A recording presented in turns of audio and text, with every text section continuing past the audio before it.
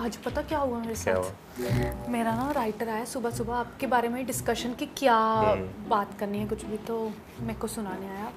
वो बैठा मेरा कुक आया उसको नया कप जो इतना मतलब मैंने आप जैसे लोगों के लिए रखा है।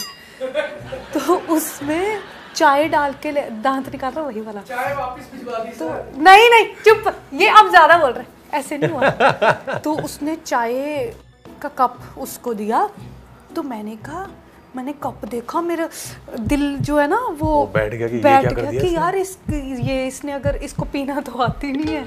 मतलब इसको ऐसे ही है ना देसी सा बिल्कुल ही तो इसको तो ग्लास में देना चाहिए था इसको क्यों? तो मैं उसके पास गई मैंने कहा तूने ये कप क्यों निकाला?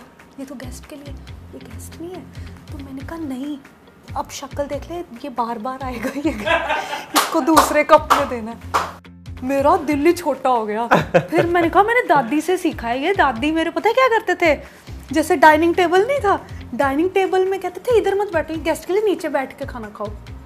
तो वो चीज़, बड़ा वो होता है यार। ठीक है, आपका देखो राइटर क्या है, बहुत इंपॉर्टेंट आदमी है है ना?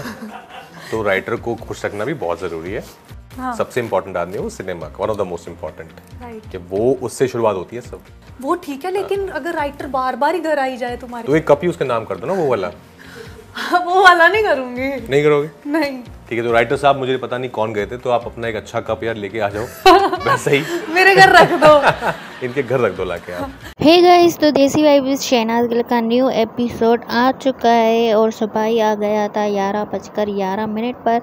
आपने अगर नहीं देखा है तो शहनाज गिल के यूट्यूब चैनल पर जाके देख सकते हो पूरा एपिसोड और ये तो छोटा सा फन मोमेंट था।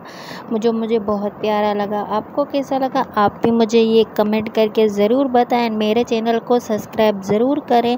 मेरी वीडियो अच्छी लगे तो लाइक एंड शेयर ज़रूर करें। Guys please subscribe to my channel